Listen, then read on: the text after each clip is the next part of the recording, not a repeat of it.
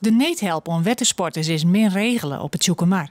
Daarvoor was je fjouwe dwarpen om deze gruste mar van Friesland.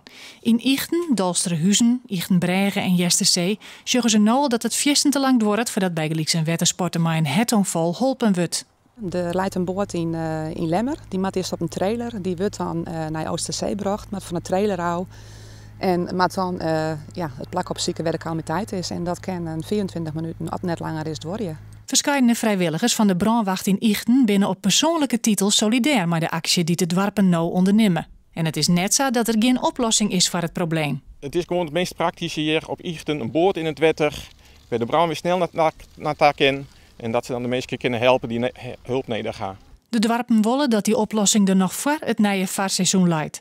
Want het wordt heel tijd drokker op het zoeken Ze hadden hier een mooie piepdel zetten voor de, voor de toeristen. Ze hadden mooi opknapt. De markriet had mooie stijgers gekregen.